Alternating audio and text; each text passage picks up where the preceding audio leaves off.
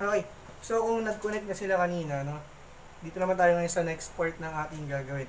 So, dito, i-click natin tong part na to yung server manager. So, lalagyan natin to ng roles. Okay, ano ba yung mga roles na yan? Yung mga kayang gawin ng server PC natin. So, click natin, roles.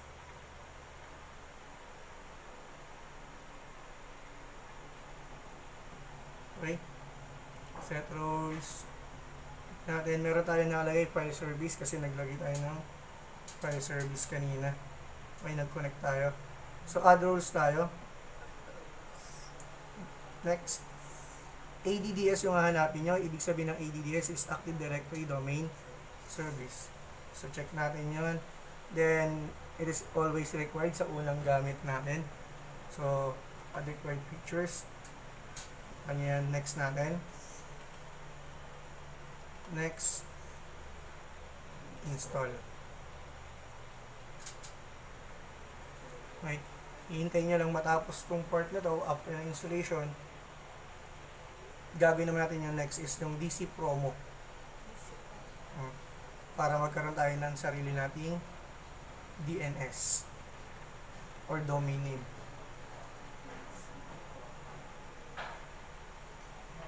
Ano ba yung domain name? Yun yung sa Facebook, yung www.facebook.com that is domain. Okay? So sa likod ng domain na yun, may IP address kasi yun. Okay?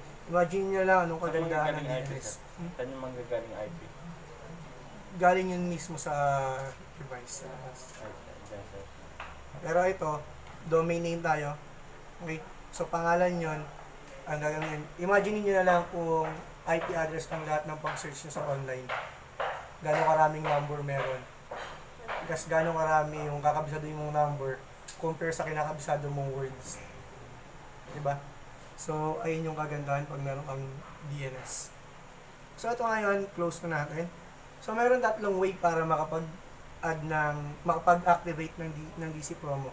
Yung isa is yung i-click natin tong Active Directory. Pag-click mo yan, lalabas to, yung run, the Active Directory Domain Service.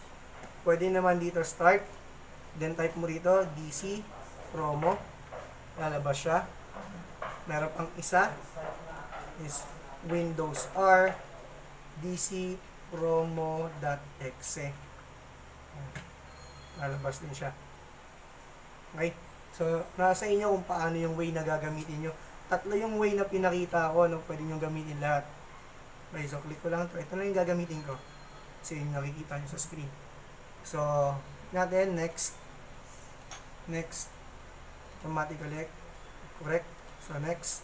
So, wala tayong existing forest. Gagawa tayo ng banibago. So, create a new domain in a new forest. Next natin. FQDN means fully qualified domain name. Right? So, for example, lagay ko dito is cdsga.css.com. Yan. Next natin. Yan. Nalagyan ko ng .com. Pwede mo .local, .net. Kayo, bahala kung ano gusto nyo gawin. Pero dapat, it is a fully qualified domain name. So, para sa akin, mabilis kasi .com. Okay? So, dito, kung meron ka pag-VPN, Windows 2000, Server 2003, Server 2008, I rather always choose yung pinakadulo. Kasi, sakop niya na yan. For example, ito, 2000. Ito yung features niya. 2003, in-upgrade yung 2000. 2018, in-upgrade yung 2003. Eh, syempre, kung nandito ka, in-upgrade niya yung 2008, di ba? So, kung kayo pipili, palagi, lagi nyo natatandaan, yung pinakadulo na yung kukunin nyo. Kasi yun yung pinaka-updated at kumpleto ng, ng laman. So, next. Next. So, meron tayo dito, delegation. So, dapat dito ay mag-yes. Okay? So, ito yung mga delegation niya. So, kung ako sa inyo, ayoko na, hindi ko na i-change to para hindi kayo mahirapan.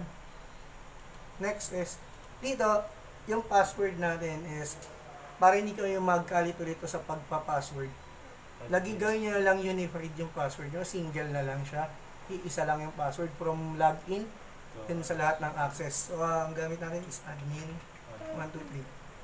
admin 128. Take note guys, pag kayo naglalagay ng password, dapat yung password natin palagi is kumpleto. Merong small letter, may capital letter, may special character, numbers. So, yan po dapat meron. So, dito in, sa ating case, meron tayong capital, meron tayong small, meron tayong number. Okay. So, next. Next. Then, click lang natin yung reboot on completion.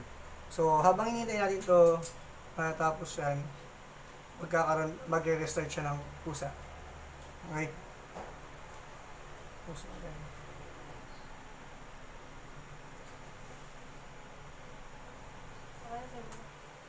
Mabilis. Kasi hindi ka mabuboring eh. Ah, nag-install kang ganyan. Pwede kang magawa ng table. Pwede kang mag-assembly assembly habang hinihintay mo yan. Ayan, nakita niyo nag-apply pala.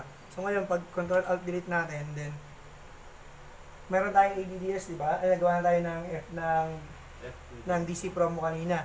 Titignan nyo ngayon, nagkaroon ng pangalan, CDSJ CSS. Ito kasing FQDN natin or fully qualified domain name natin. Ito na yung DNS. So later on, pagtapos nito, na-set up na natin yung server natin, magiging ganito na rin yung sa ating client mamaya. Sa DC promo ginawa siya, di ba? So sa DC promo ito. So admin 123 that is our password. So enter lang natin. Makikita nyo ngayon welcome then i-apply niya lahat ng mga nangyari. Applying user settings.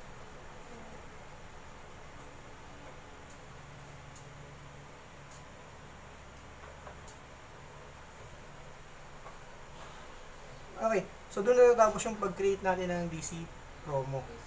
Okay, ng ating ng ating FQDN or DNS natin. So, para makita nyo kung totoo nalagyan natin, wait natin, may lalabas dyan na naglalagyan. So, huwag natin hintayin, click na natin.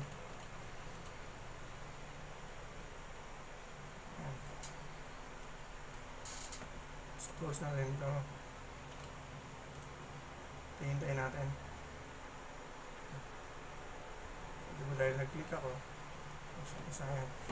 So, rows natin. So, nakita niyo meron tayong DNS. Okay. So, meron ka ng DNS server. So, ibig sabihin, pwede nang kumonek. Hindi na workgroup gagamitin ng mga client mo. Kaya gagamitin nila para makakonect sila sa'yo is yung DNS mo. Okay? So, close na natin yan. Tapos na tayo sa ating DNS.